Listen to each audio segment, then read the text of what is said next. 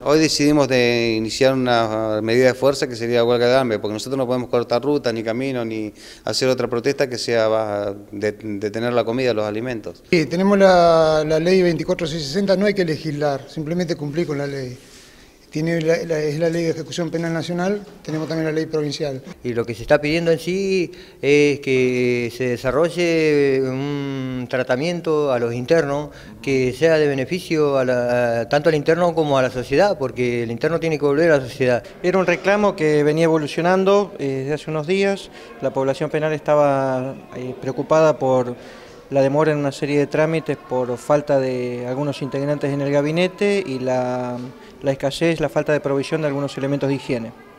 Eh, por, expresa, por expresa indicación del gobernador y del ministro de Gobierno, nos constituimos hoy acá, estuvimos hablando primero con, los delegados de la población penal y después en extenso con, el resto de los alojados.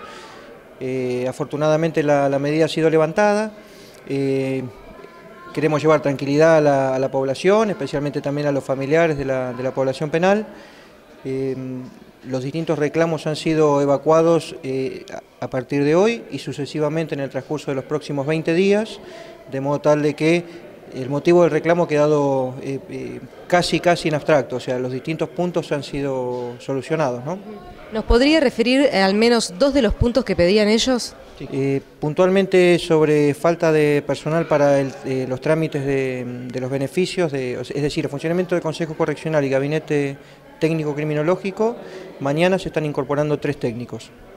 Eh, en el transcurso, calculo esta semana, principio de, la, principio de la otra, un trabajador social, con posibilidad que sea un segundo, una psicóloga, la psicóloga no estaba, no estaba eh, en un puesto vacante, sino que por problemas personales está ausente, pero de todas maneras claramente era insuficiente la, cantidad de psicólogos para atender eh, la cantidad de población penal que tiene el establecimiento de ROC.